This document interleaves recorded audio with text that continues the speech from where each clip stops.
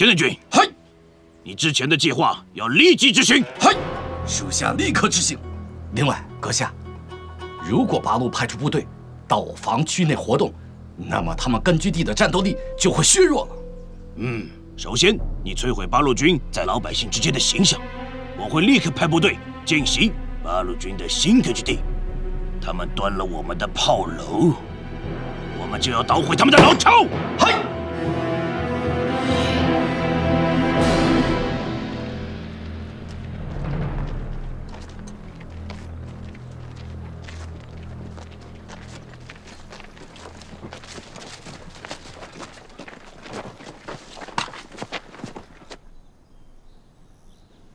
队长？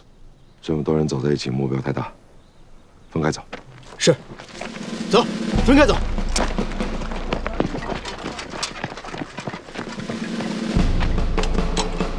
お前らは襟抜きの声援部隊。今日は大事な任務に任せるんだ。上げろ。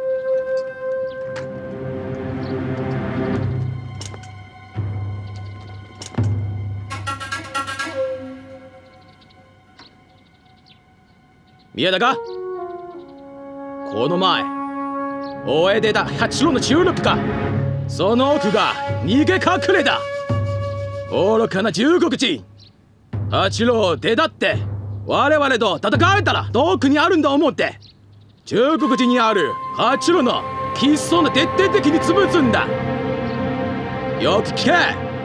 八郎の服に着替え。奴らの顔で革命へ騒動する。どんな集団ドアス燃やせ。殺せ。奪おう目的は八郎を見ると恐ろしくなんだ。わかるか？はいはい。機械出発だ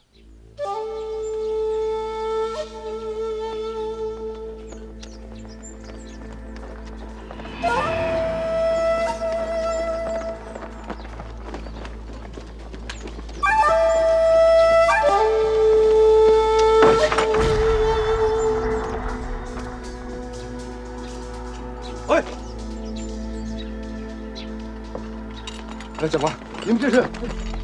我们来征粮。不是说八路不征粮的吗？我们八路给你们打仗，不征粮，我们吃什么？哎哎，不行了，老总！长官，长官，我必须不行了，老总！老总，起来！老总，起来！老头子！哎，留一个活口，让他替我们八路好好的宣传一下。走。老头子，老头子！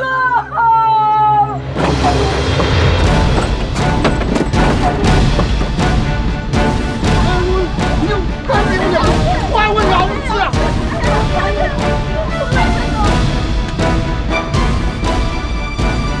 你瞧我样子，给我，去你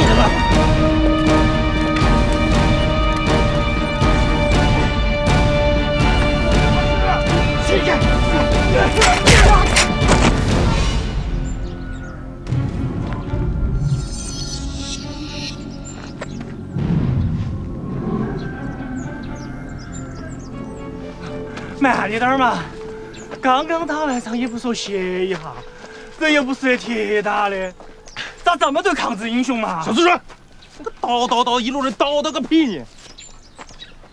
哎呀，饿得很，这天喝的全部是清凉瓜水，比你薄啊！哼哼，俺以前当和尚的，吃素的，不饿。当和尚的呀？哎呀，都比和尚当超出来了。哎，鲁大哥，你你你不想娶个媳妇儿啊？俺现在一心打鬼子，不想这事儿。哎呀，哎呀，哎，你想下吧，要是娶个媳妇儿的话，给你暖个被窝，生个娃儿，多巴适嘞！俺们队长说了，一个人要是光想着自己的家，那是不行的。啊，国家国家，要是没有了国，就算有家，那也过不好这日子。哎呀，你这你咋瓜兮兮的呢？你想嘛，要是没得人的话，咋会有家呢？没得家的话，咋会有国呢？要是我小川死了的话，咋个保家卫国呢？是不是？那这就滚蛋！你个瓜兮兮！鲁队长，哎呀，鲁队长，鲁队长，你刚才都听到起的哈，哎，你给我评评理嘛？你说我说的对不对？肯定是我说的对噻，是不是？哎，要是没得人的话，咋会有家呢？没得家才有鬼呢，是不是？把你那套邪门歪道给我收起来，你少说两句，前面就有地方可以吃东西了。真的啊？你不要哄我哈！哎，你咋晓得前头有资源呢？因为前面就是他老家，他当然知道了。你个蠢货！哎，不是连长，你咋晓得现在是他老家哦？因为前面也是他老家。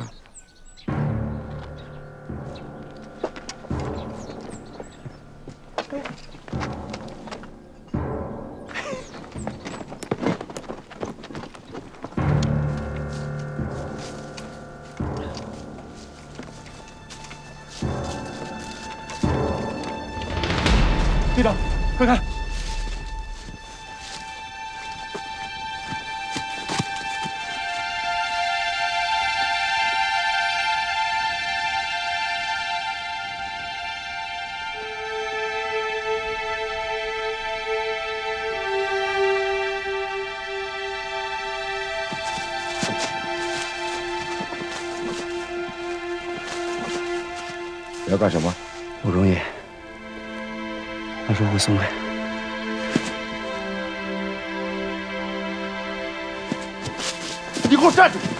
李修文，你给我站住！你想干什么？姓武的，这也是你的家。你要是个爷们儿，就跟我去给乡亲们报仇。李厅长，里边可能有小鬼子埋伏，你冷静点。你怕鬼子，我不怕。老子就是打鬼子的，打鬼子行，你这样贸然进去是送死，那也比他孬种强。你听我说，你要送死我不拦着，你要是想报仇，能不能听我说两句？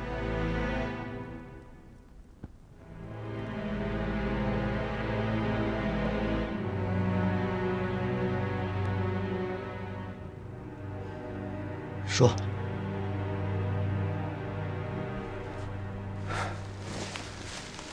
等魏三虎到了。咱们分批慢慢的潜进去，要是遇到落单的鬼子，直接干掉；如果遇到大队鬼子，咱们商量商量，打他们附近。吕秀文，越到这个时候越要冷静。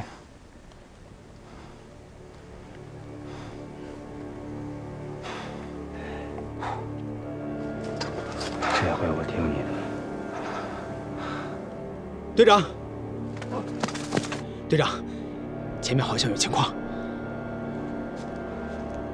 知道了，都听着，里边一定有鬼子埋伏，大家注意隐蔽。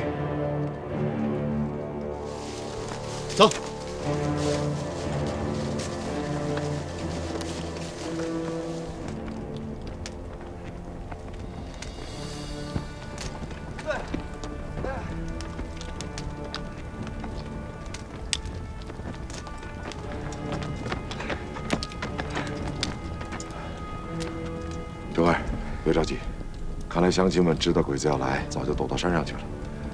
村里也没见着鬼子，鬼子应该抢完东西就撤了。狗日的，烧了咱们的村子，这也是不共戴天的大仇。哎，吕院长想说啥子哦？鬼子跟我们的仇早就是不共戴天的大仇了，多这笔债也不算啥子。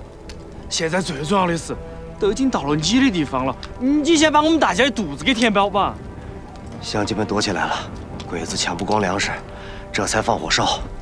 咱们再找找，应该有剩下的粮食，先填饱肚子再说。就是，人是铁，饭是钢，吃不饱咋个做英雄好汉呢？乡亲们的家已经被烧成这个样子了，等他们回来，说不定一口粮食就是救命的，不能再动他们的东西。走，去我们家。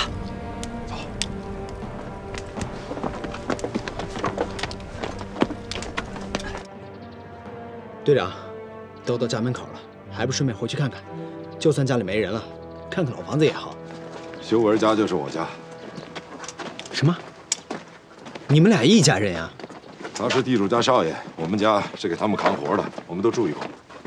对，他是我们家下人。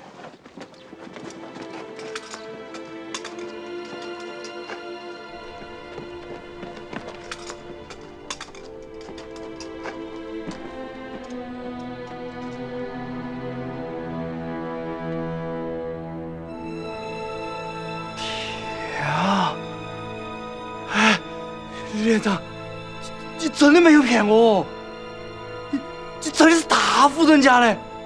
哎，我说你就是个瓜兮兮的，我要是你的话，我就娶几个小老婆，在后头吃香的喝辣的。嘿嘿嘿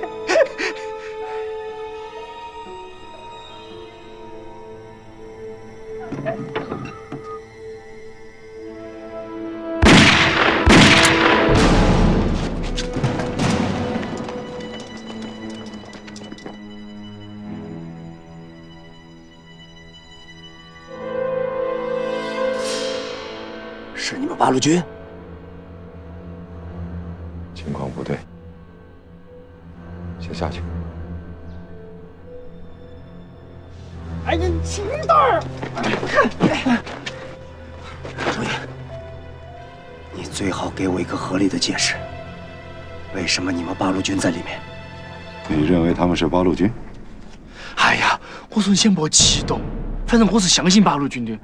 如果八路军真的是人杀人的话，那说明你们家的人都是汉奸。可他们明明穿着你们八路军的衣服。但是他们不是八路军。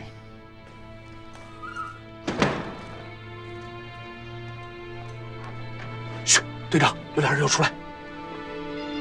拿火烤。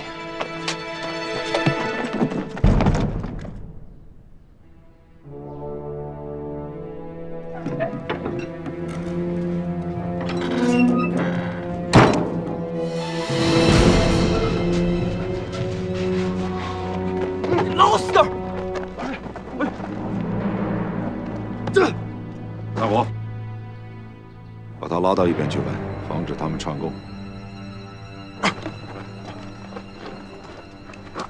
站好！你们是什么人？为什么要冒充八路军？八个是鬼子。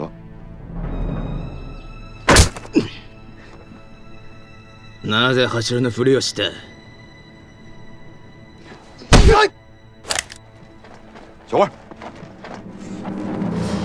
队长，打死也不说话，什么都问不出来。是鬼子。既然是鬼子冒充八路军，我们直接杀进去。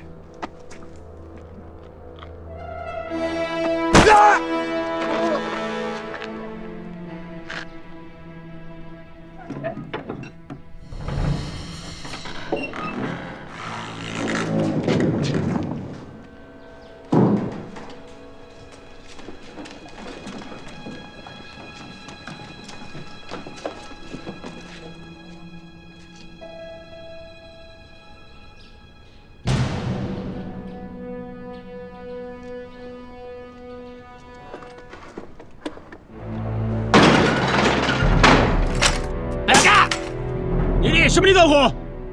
十三状態、小村十三だ。お前らはここで八郎のふりして、我々は国軍と武工隊のふりする。司令官官下の住人を任されて、お前らはここで発達するつもりかすいません閣下すいませんでした任務はどんな状況だ？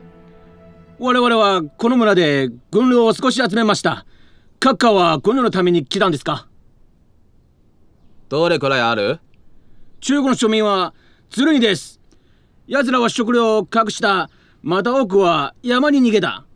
残りの十数人は捕まえてこの部屋までたどりここで食料証拠を一つ見つけました。長官。お前らは4人だけなのか？うちの正体は合計16人。中の6人はこの部屋であとの6人は食料倉庫です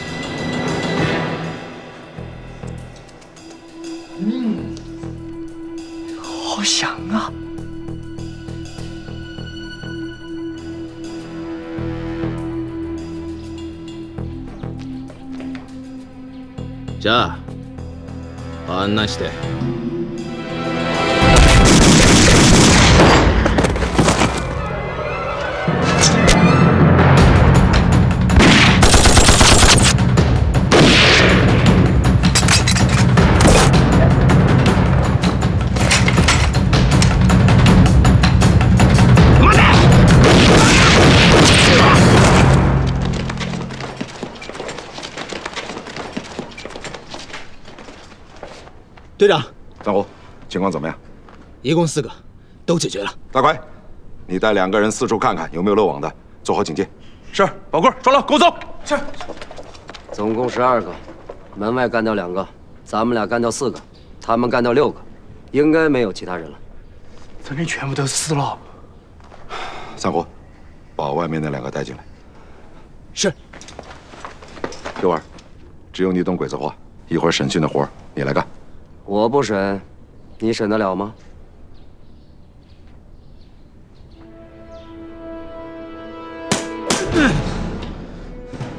バカ野郎我ここ恥ずかしめるの何ラロだか恥ずかしめるだけが君を殺すぞよく見ろ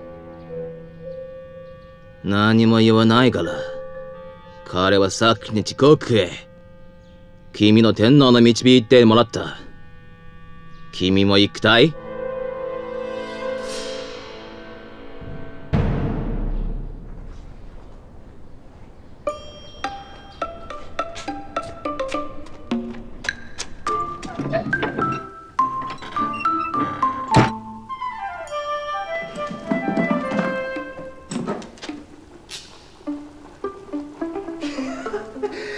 老子可不才好哦！哎。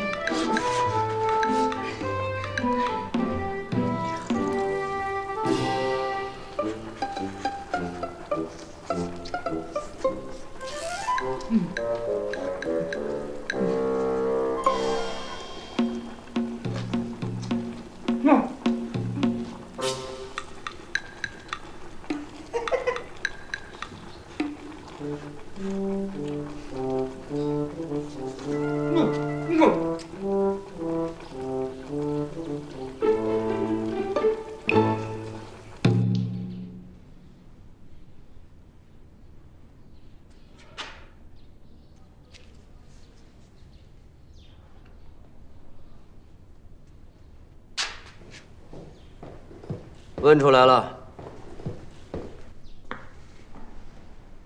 只怕是你们不想听到的消息。鬼子想出条毒计，他们派出很多队伍，冒充你们八路军，四处抢钱抢粮，还杀了不少人，目的就是为了破坏你们八路军在老百姓中的根基。哎呦我的妈呀，这鬼子太毒了！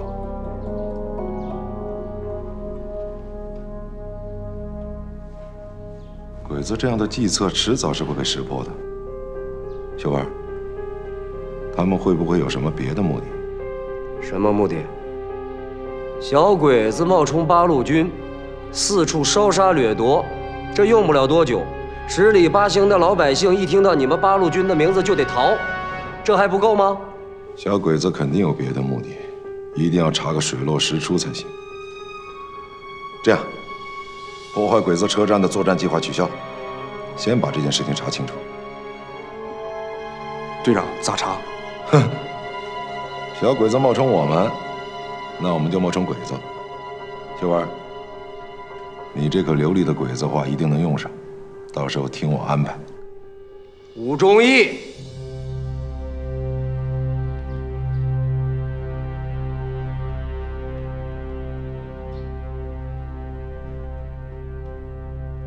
在这个院子里，你最好搞清你的身份。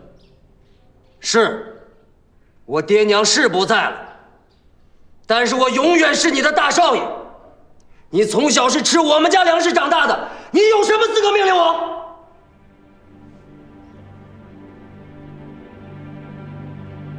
什么时候的事儿？秀儿，你爹娘没了？这个你管不着。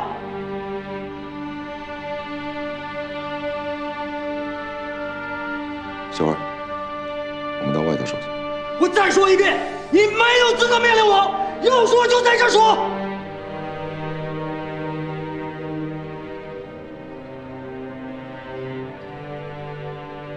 这，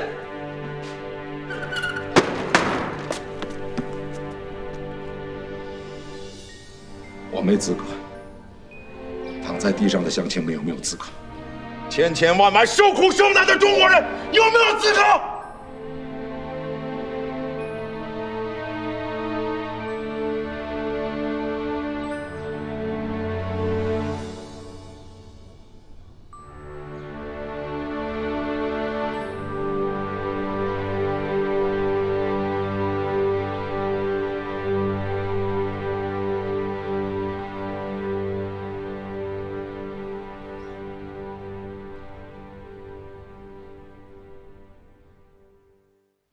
钱太君，你想出的那个冒充八路征粮的计划，真是神来之笔啊！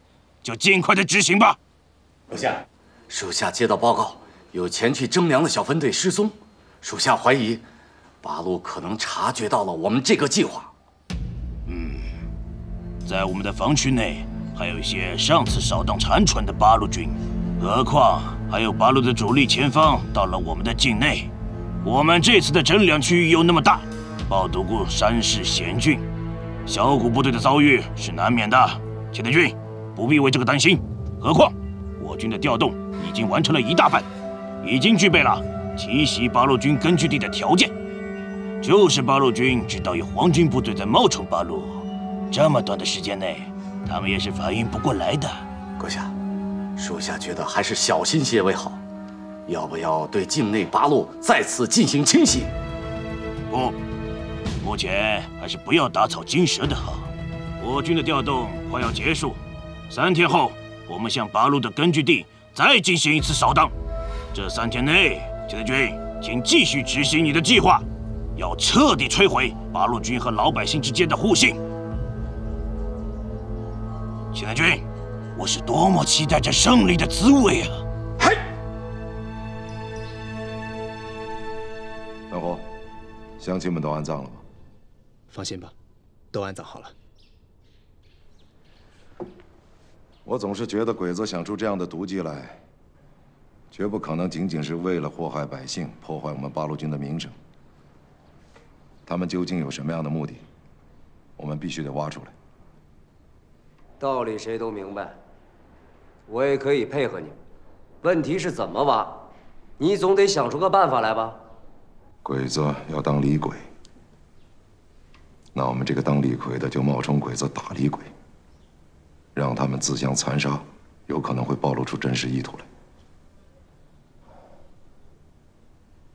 我们去县城。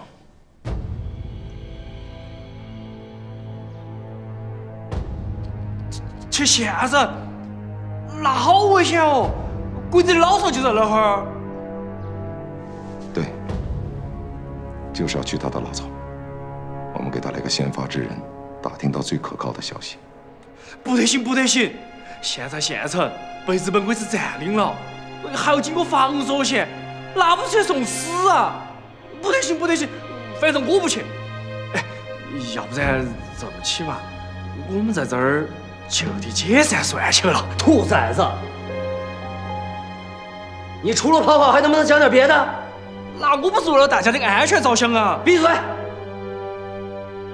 从现在起，我们集体换装。三虎，去找些鬼子的衣服来，我们装扮成鬼子，专找冒充八路军的鬼子打。我觉得不是很妥当。哪儿不妥？鬼子上次大扫荡之后，我们还有很多战友失散在这边。本来咱们也想着到这边慢慢寻找这些战友，可是咱们要冒充鬼子，万一碰见了咱们战友，自相残杀起来可怎么办？我明白你的意思，话还没说完呢。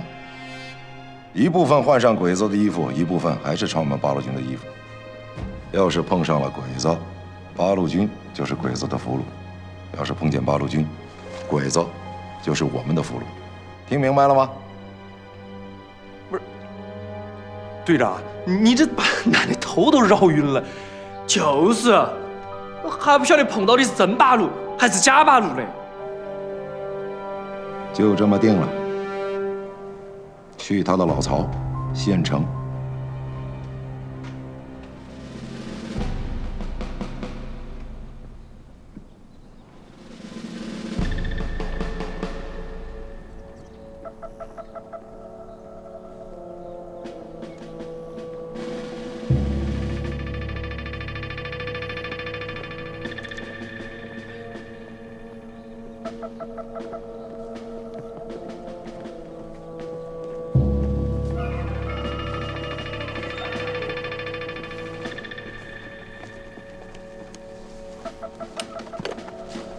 听着，接近鬼子封锁线了，大家打起精神来，注意各种情况，争取中午前到达县城。哎，不过话说回来哈，我觉得我们穿起这身皮，那肯定日本鬼子认不出我们是哪个了。小鬼子没那么好糊弄，一定要多加小心。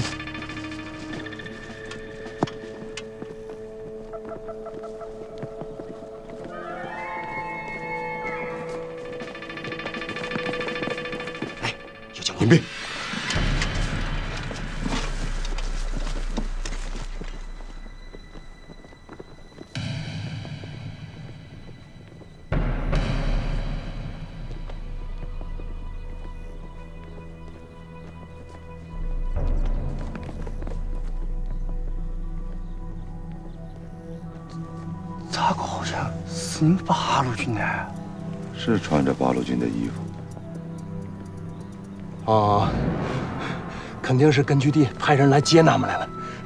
别动！咋了？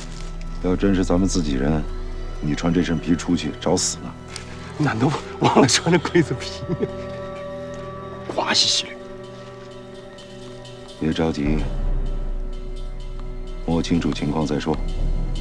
这儿已经到了敌人的封锁区，要真是自己的同志，怎么可能大摇大摆的在这儿出现？对呀，哎，队长，别是这吕大少爷和鬼子穿一条裤子，骗俺们往他裤裆里钻吧？你他妈放屁！老子向来打鬼子，怎么能跟他们穿一条裤子？你小子脑子是不是让驴踢了？上脾气了是吧？你恨咱们队长，就像小鬼恨钟馗。谁知道你脑子里边憋出什么屁来？不是你小子想怎么的吧？少说两句。行了，大奎，你别气他了，气崩了他，咱们就没翻译了。大家都听着，我会朝天开枪，你们注意观察。如果他们真的是八路，一定会还击；如果他们是日本人冒充的，害怕误伤。只会虚张声势。隐蔽！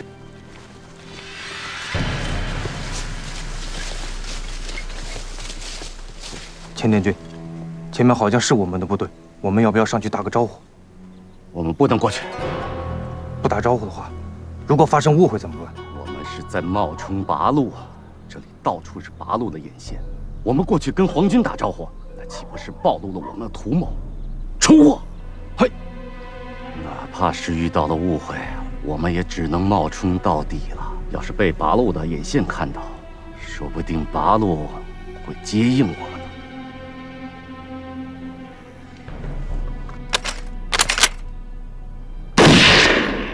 他们开枪了，是我们自己的队伍，我们该怎么办？撤队。要是八路来接应我们，正好一起消灭。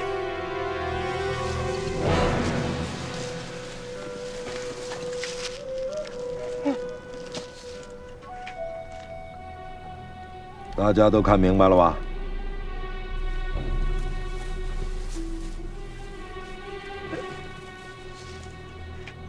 做好准备，跟上去。哎，副队长，你你先莫追，你看他们都跑了的嘛，我们还追上去啥子呢？要是真的把日本人的大部队给引来了，那我们就死惨了。这群鬼子冒充八路，总不会大摇大摆的在鬼子面前出现吧？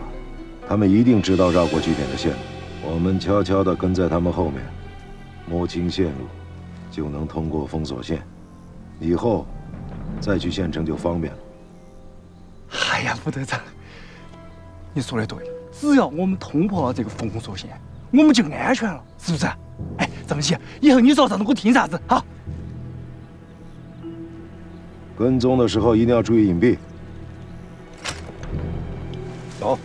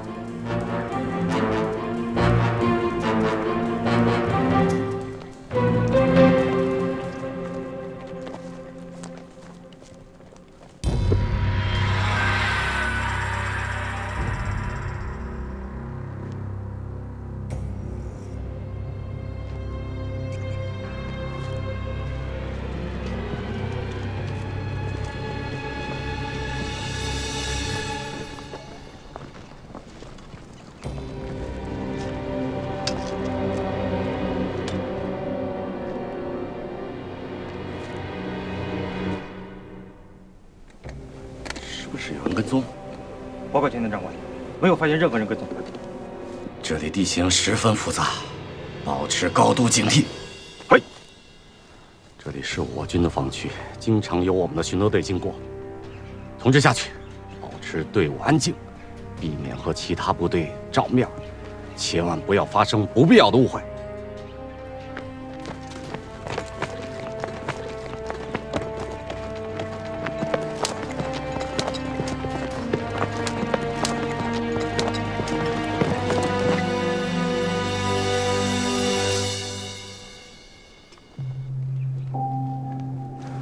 鬼子设下的卡子，咱们差不多都绕过去了。最后也是最难的一道，就是前面。这是一条铁路，小鬼子在这有个车站。为了防止游击队破坏，日夜都有人巡逻。让我们来绕过去。我们跟了他们那么久，还不知道他们的图谋，一定要跟紧了。队长，那俺们能不能再跟着那群鬼子通过据点呢？这个地方绕不开，他们有办法过去，我们没办法蒙混过关了。那那咋办？到时候再说。车到山前必有路。队长，那那帮冒充八路军的鬼子怎么办？要不然，我们先把他们处理掉。他们帮咱们绕过这么多道卡子，临别的时候，咱们得送点礼物给他们。手榴弹？手榴弹？你倒是大方。弹药不多了，得省着点用。对付这群鬼子，有一个人就够了。什么意思？吕大少爷，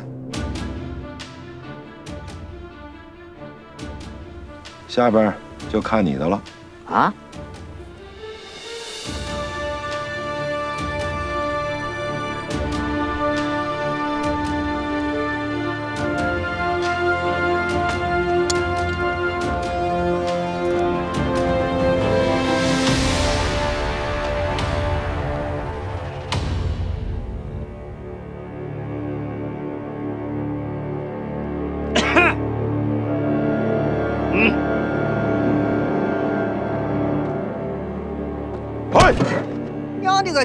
脚，谁敢踢你一？太太太君。バカ！執務時間になった。必勝あんたのどうする？二度とあったら全員殺すぞ！什什么意思？嗯。 再敢这样玩忽职守，全拉出去枪毙了！太太君，饶命啊！我上有小下有老，不是我上有老下有小啊！再说了，不是我们偷懒啊，是这几天兄弟们搜捕八路太辛苦了。太辛苦了啊！还还还，谁不辛苦？去把你们长官叫来！嗨。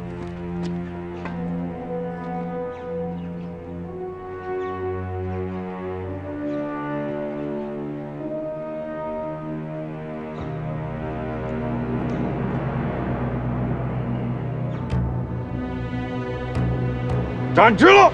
哎，你们这样的玩忽职守，渡边君他是非常的生气，他要把这件事情向小泉司令报告，让你们等待小泉司令的惩处。翻译官老总，麻烦您跟这位渡边太君美言几句。我们从接到搜捕八路的任务以来，一直是尽忠职守，不敢有丝毫懈怠呀。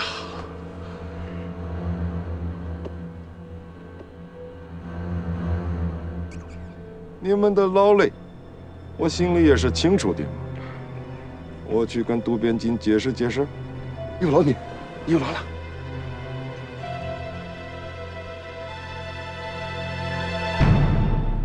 一二三四五六七八九十，一二三四五六七八九十，他这个王八蛋。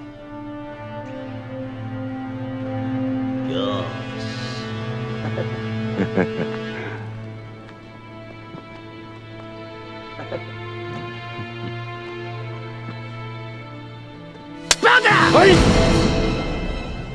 の協定副官八郎発見した。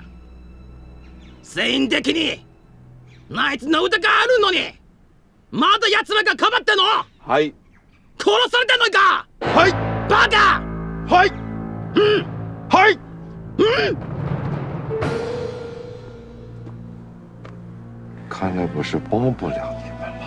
要真是劳累打个小盹，这没什么。可是渡边君说了，你们的据点附近出现了八路。啊，队长啊，队长，这玩忽职守可是小事儿。这件事要往大了说，那就是有通敌嫌疑，那是要掉脑袋的。哎呦，这可冤枉兄弟了！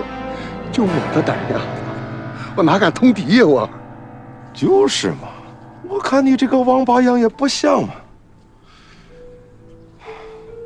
这样子，亡羊补牢，为时不晚。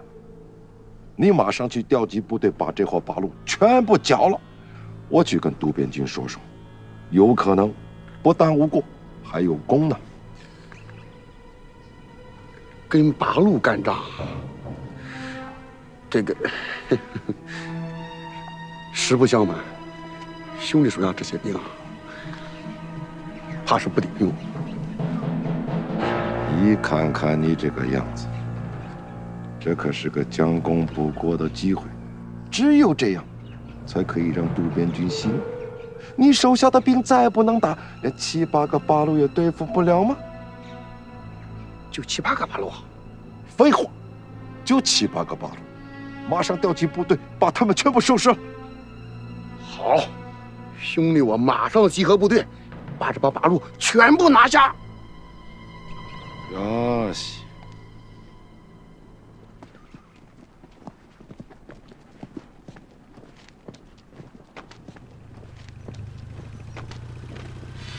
迎面！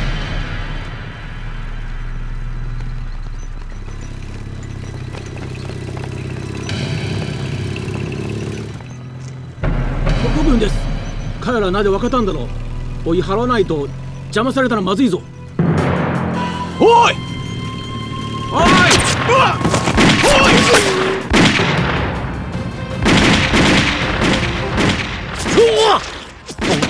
现在是八路。田连军，那我们现在该怎么办？现在还不能暴露身份，这群混蛋不会打仗，还摸不清我们底线，吓走他们就可以。还。